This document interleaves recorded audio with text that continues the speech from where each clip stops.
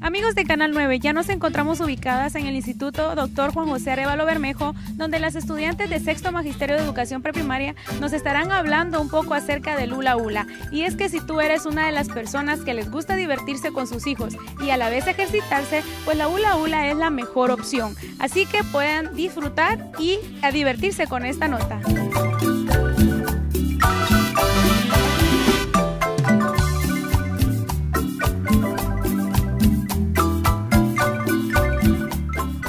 Pues ya nos encontramos con un grupo de chicas dinámicas de sexto Magisterio de Educación Preprimaria, quienes nos van a estar hablando acerca de la hula hula. Pero para empezar me gustaría conocer un poquito acerca de la historia de la hula hula. Bueno, la hula hula es un aro de plástico y este fue creado por Hipócrates 300 años antes de Cristo. De Cristo. Este eh, consiste en que el niño desarrolla habilidades de destrezas psicomotoras eh, específicas y generales, como lo que es lateralidad, ubicación espacial, etc. ¿En qué consiste el uso de la hula hula? En que el niño pueda eh, verificar qué es adentro, afuera, cómo pueda saltar, eh, brincar, correr, etc. Sabemos que la hula hula pues es muy importante eh, para ejercitarse y a la vez para divertirse con nuestros hijos, pero es una manera de encontrarla fácil en, en los supermercados, pero me gustaría también saber cómo podrían los padres de familia o incluso los maestros para poderlos utilizar en las escuelas, cómo elaborarlos, qué materiales podemos utilizar fácilmente para poder hacer la hula hula. Solamente necesitamos poliducto que lo encontramos en la Panamericana. También necesitamos cinta adhesiva para unir el poliducto. Luego decorarla con cinta adhesiva de color y la vamos enrollando así para que tenga un diseño sin necesidad de ir a comprarla al mercado.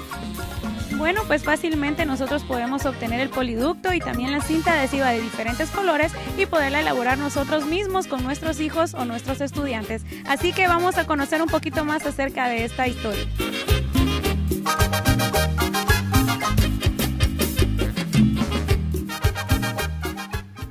La hula hula nos sirve para enseñar a los niños lateralidades, lo que es adelante, atrás, izquierda, y derecha. Esto resulta muy divertido y entretenido para los niños porque necesitan concentrarse.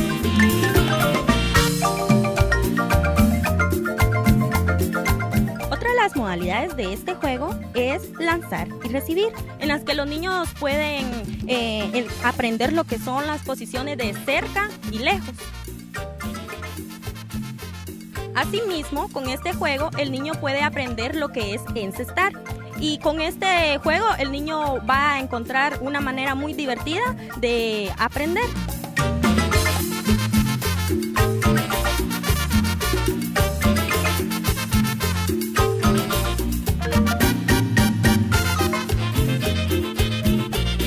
Asimismo, en este juego el niño puede aprender a rodar. Con la manera en la que el niño va a aprender a rodar, el niño va a ir desarrollando lo que es el mano u ojo. La hula hula es uno de los juegos en los cuales no solamente podemos aprender diferentes contenidos, sino que también podemos realizar diferentes juegos recreativos para que ayude a los niños a socializar en equipo.